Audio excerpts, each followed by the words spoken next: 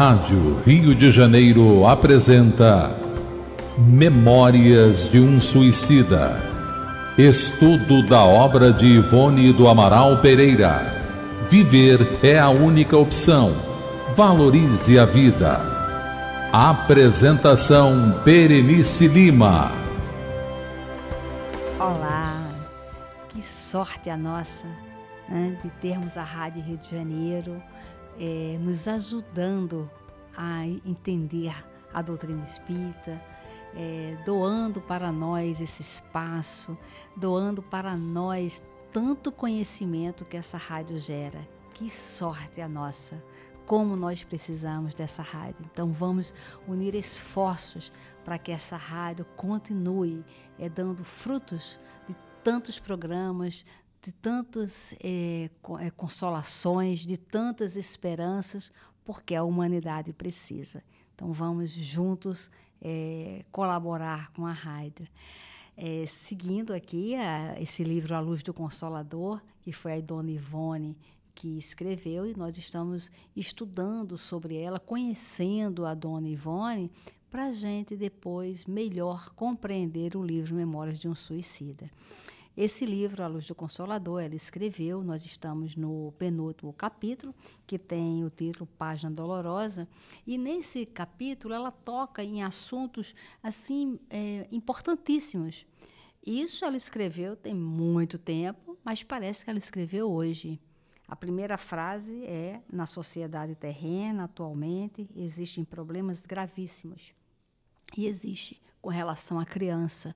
E ela, muito de, de, delicada, ela vai fundo no assunto do abandono das crianças.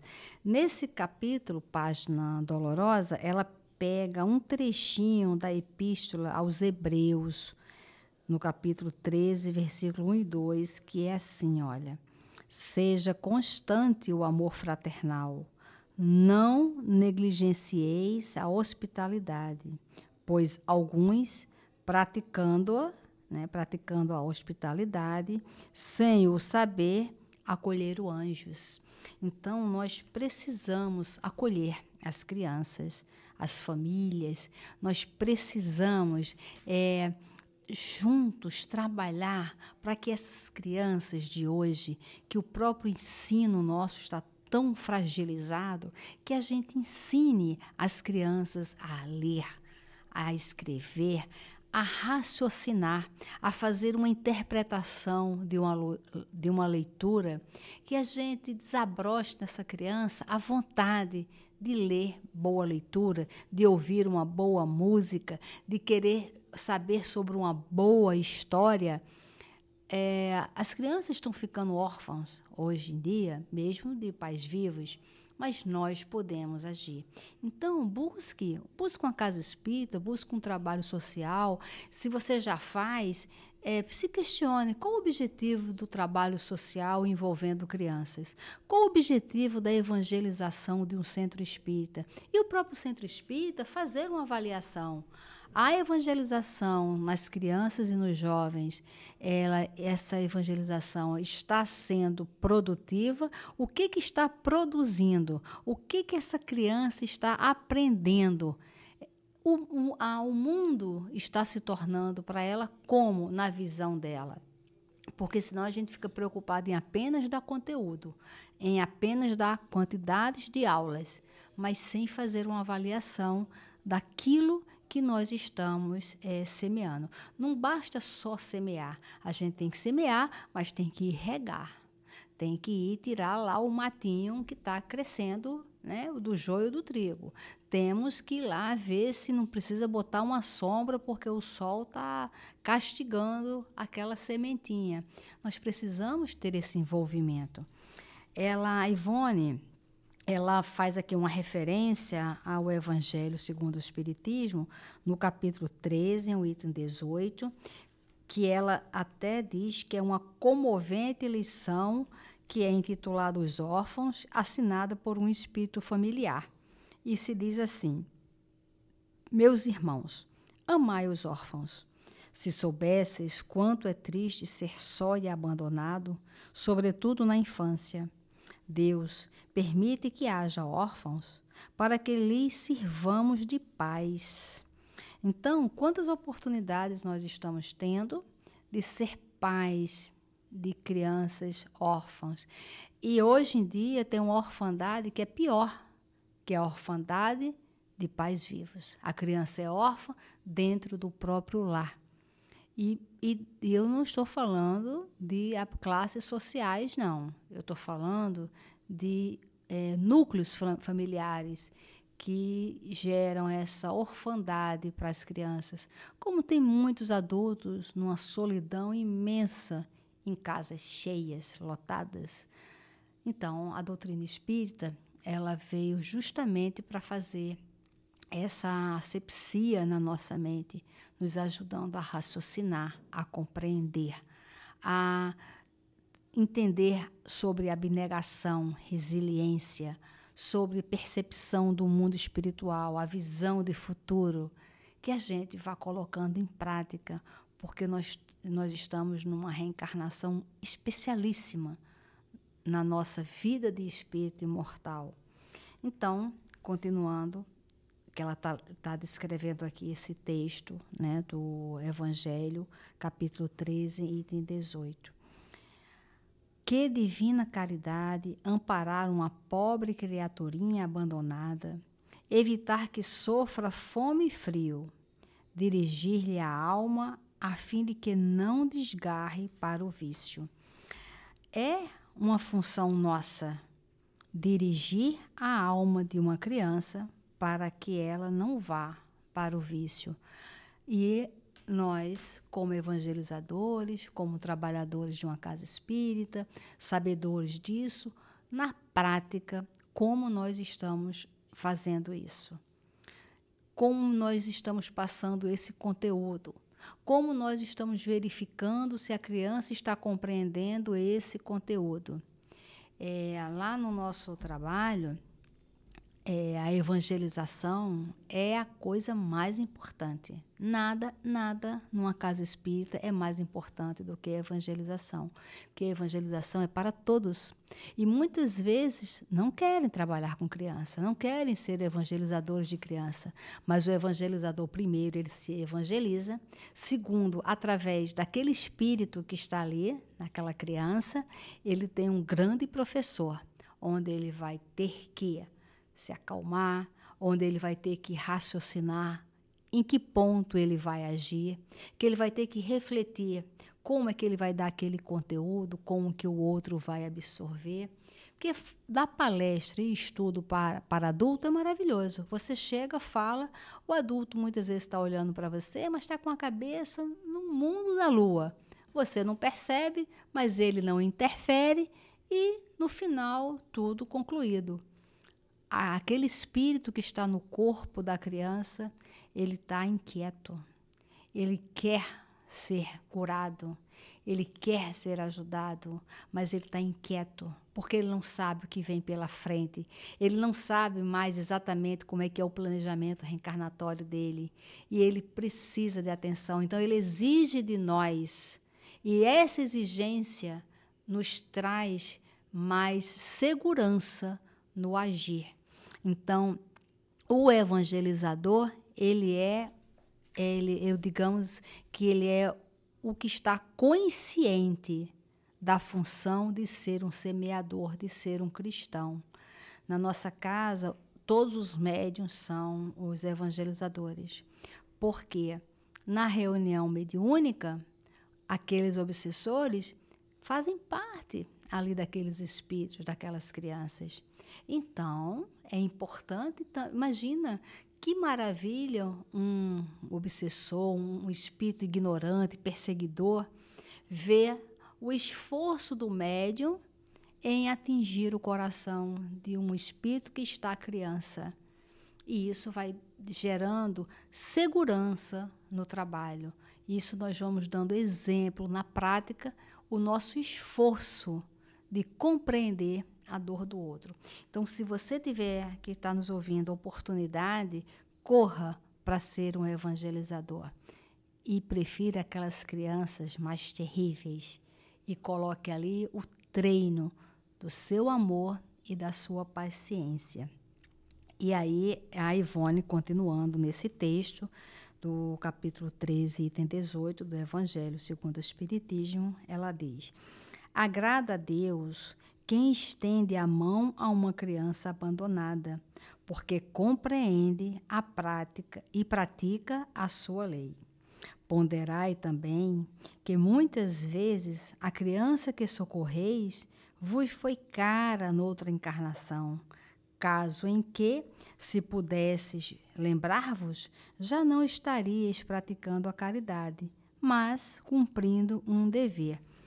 Ninguém chega numa casa espírita sem ter ligação com aquele povo dali. Ninguém é, é convidado, você pode até não aceitar, mas quando você é convidado para fazer um trabalho é, assistencial, Ora, você vai encontrar ali espíritos ligados a você. Só que o, o, esquecimento nos afasta. E o pronomezinho que a gente adora, que é meu, minha, meu filho, minha neta, meu sobrinho, minha mãe, esse pronome de posse que gera em nós o orgulho e a gente só quer cuidar dos espíritos que têm esse pronome na frente, Jesus traz a proposta de amar a todos, amar o inimigo, quando ele diz, olha, quando se unem dois ou mais em meu nome, eu estarei presente. Quando ele fala dois ou mais, não é que ele só esteja presente em grupo, mas aí ele está ensinando para que a gente se agrupe, que a gente busque as outras pessoas. Ele está incentivando a fraternidade garantindo a sua presença quando nós nos movimentamos né, na fraternidade. Então, quantas vezes nós estamos fazendo caridade e para espíritos que em outra vida foi aquele filho tão querido, tão amado. Então, gente, é, trabalhar no bem é uma experiência assim maravilhosa que a gente só vai compreender quando a gente desencarnar.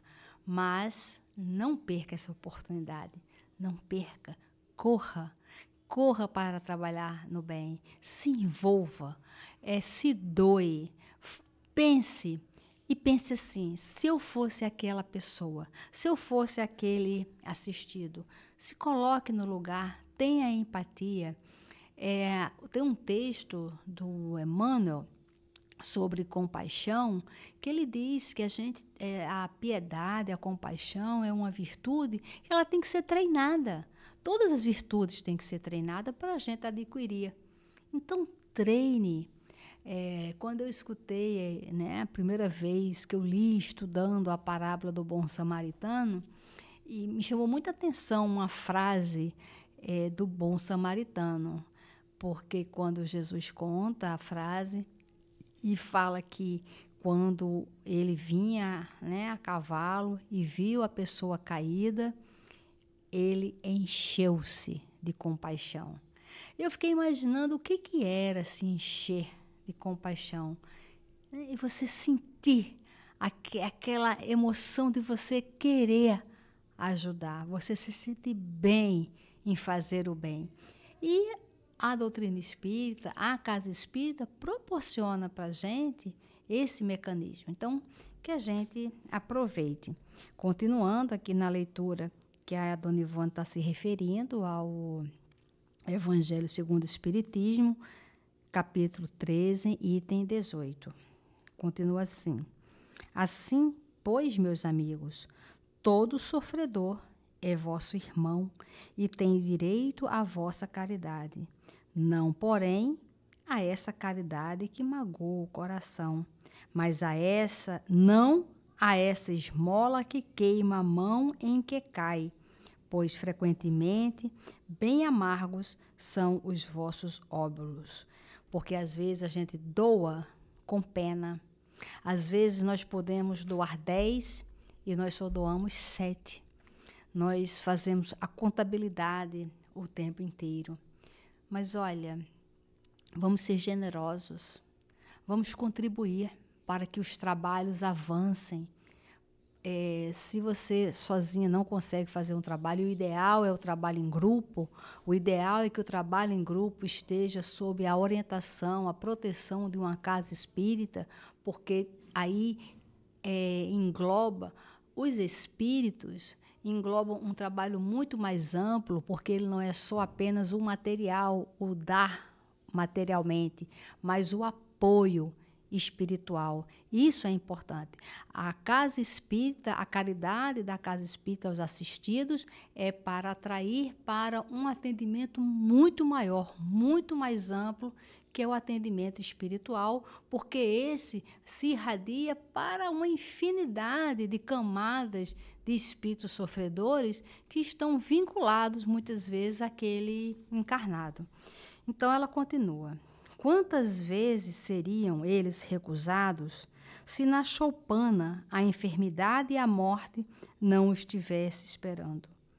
Dai delicadamente, juntai ao benefício que fizerdes o mais precioso de todos os benefícios, o de uma boa palavra, de uma carícia, de um sorriso amistoso. Gente, isso aqui é um grande ensinamento. É, quem trabalha na parte assistencial, quem trabalha na casa espírita, acolhendo as pessoas, vamos aprender a sorrir, vamos aprender a acolher. Porque às vezes é, chegam pessoas sofridas, doloridas, doloridas e encontra muitas vezes uma recepção rígida, uma recepção fechada. A gente confunde disciplina com rigidez. A gente confunde disciplina com falta de educação. A gente confunde disciplina porque nós nos confundimos a cada instante. Mas vamos ficar alertas. Vamos ficar alertas, olha, na recepção, vamos colocar pessoas acolhedoras. Vamos colocar pessoas que saibam ouvir, perguntar como é que você está. É importante a gente aprender a fazer esse acolhimento. Primeiro, a gente raciocinar. Eu sou uma boa acolhedora? Sim, não, mais ou menos? Olha, se eu sou mais ou menos ou não sou, deixa eu me esforçar. Então a gente vai conscientemente, a gente vai é, se melhorando, a gente vai se analisando, mas que não deixemos de acolher as pessoas.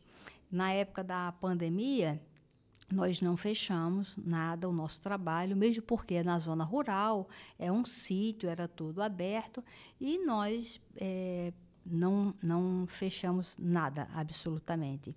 E tivemos também a orientação dos espíritos e nós ficamos ali atendendo a comunidade e muitas pessoas foram lá bater no nosso portão.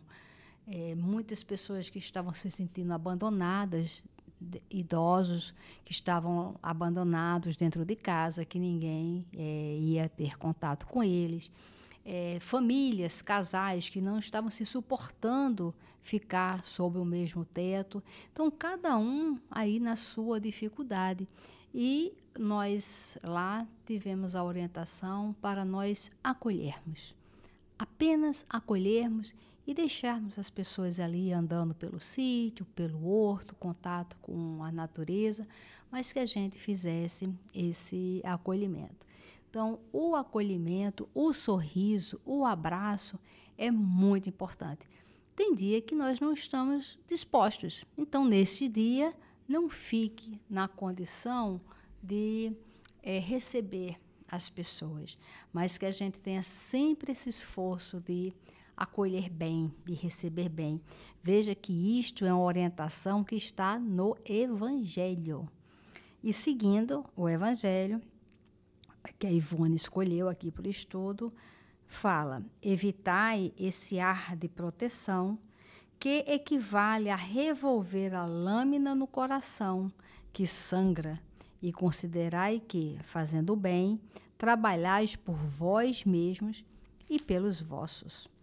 Isso aqui é interessante, né? Quando a gente faz um trabalho no bem, a gente trabalha por nós e pelos nossos. É, eu conheço um caso de uma pessoa que, fala, que queria abandonar o trabalho, sair da casa espírita, não queria mais ser espírita, porque se decepcionou com a direção espírita, com as, os trabalhadores espíritas. E a gente tem que ficar muito ligado para a gente não confundir a religião com o religioso. Então, nós não podemos botar todos na mesma, no mesmo saco. A doutrina espírita é espetacular. Agora, os espíritas é, são, são pessoas com um nível de complexidade muito grande, mas que a gente não se deixe envolver a ponto de nós sairmos da religião. Porque onde quer que vá, onde tiver gente, onde tiver grupo, onde tiver uma pessoa, vai ter complexidade de relacionamento. E aí o Espírito deu a seguinte orientação: minha filha, não saia, não saia, porque você aqui no trabalho você está adquirindo crédito para um dia você usá-los a favor dos seus. Nesse primeiro momento parece uma barganha, mas não é. Lembra lá no nosso lar, quando uma senhora que estava desencarnada e ela estava vendo os filhos num sofrimento aqui na terra e ela queria ajudar e foi pedir permissão para ajudar. E o Clarencio perguntou para ela: qual crédito você tem para ajudar os seus? E ela não tinha nada, porque ela nunca ajudou ninguém. Então, se você nunca ajudou ninguém, você não tem crédito para ajudar nada. Veja que o esforço para a gente se tornar uma pessoa melhor é a gente se envolver com a dor do outro, é a gente se doar para o outro. E aí continua. Mas não vamos pensar que estes conselhos apenas nos impelem a criar orfanatos. Impelem sim a nos tornarmos pais dos órfãos, dos abandonados. Mercê de Deus, possuímos, sob inspiração do Espiritismo cristão, lares, orfanatos que podemos qualificar no gênero como modeladores, mas são raros. Alguns, premidos pela falta de recursos insolúveis e circunstâncias outras irremediáveis, veem como única solução restituir a criança aos sete anos de idade, ou seja, adotam-na apenas dos três aos sete anos, mas restituí-la a quem, se é órfão e a parentela não a quis ou não a pôde criar e educar. Possuímos um mestre que se sacrificou por nós, deixou os páramos celestes à direita do Pai Todo-Poderoso. Fez-se homem, habitou entre nós, suportou toda sorte de vexames, acusações, martírios, a fim de ensinar a prática do verdadeiro bem e do verdadeiro amor. Que devemos fazer então em vista da angústia em que vemos sossobrar a criança desvalida de nossa terra. Sim, como diz Vinícius, abrir as portas do coração, descerrar os ferrolhos que trancam as portas do nosso lar e adotar os órfãos como filhos. Adotar um, dois, três órfãos, consoante nossas posses financeiras dar-lhes o nosso nome, dar-lhes o nosso lar, assim salvaguardando-os do abismo em que vemos se perderem esses infelizes abandonados pela sociedade comodista e egoísta, os quais, aos 12, aos 15 anos de idade, são, como vemos, homicidas, entregues ao vício e à prostituição, pois é bem possível que, adotando órfãos, acolhamos anjos sem o saber, como lembra o grande apóstolo Paulo em sua epístola aos Hebreus. Vamos refletir sobre isso e muita paz. A Rádio Rio de Janeiro apresentou Memórias de um Suicida. Estudo da obra de Ivone do Amaral Pereira Viver é a única opção. Valorize a vida.